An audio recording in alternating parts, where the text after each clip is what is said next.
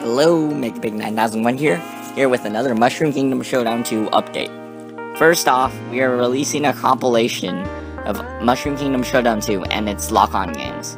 We are calling it Mushroom Kingdom Showdown 2 Complete Edition. So if you don't want to download everything separately, you can just click the link in the description below to download it. Secondly, the dojo's been updated. We have added a spriting section for people want to send in sprites into the game or make their own alternative costumes. There's also a new stage that's been added to the dojo. This is one of many things that will be added to the dojo as time goes by, so make sure you check it every once in a while to see if something new pops up. That's all I have for you today. See you later.